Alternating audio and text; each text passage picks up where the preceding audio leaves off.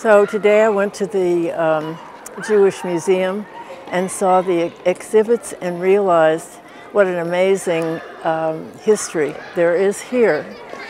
And um, I wasn't really completely aware of that. I knew that the gallery was in the ghetto.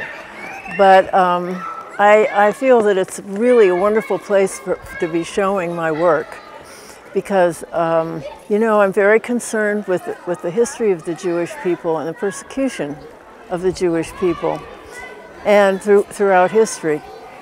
Going to Israel was a, made me feel that the um, oppressors, that the oppressed had become the oppressors. I made a point to, to spend time with um, Palestinians and to learn something about their culture, as well as with Israelis and all the people in Israel that you're not aware of being there, such as um, people from Africa and of all ethnicities, all countries, and um, Ethiopians, and uh, Ghanaians and Nigerians, and also all kinds of all kinds of Israelis. I'm, I'm wandering now.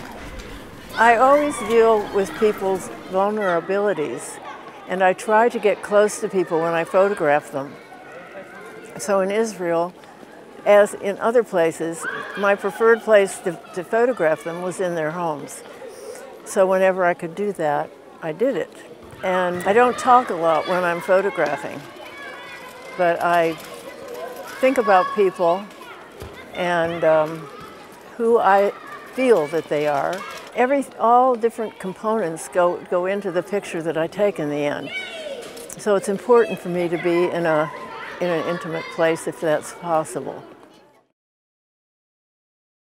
I would advise young photographers to be their authentic selves as much as they can and to um, pre-thinking what kind of a picture they are going to come up with, but to really um, draw from their inner feelings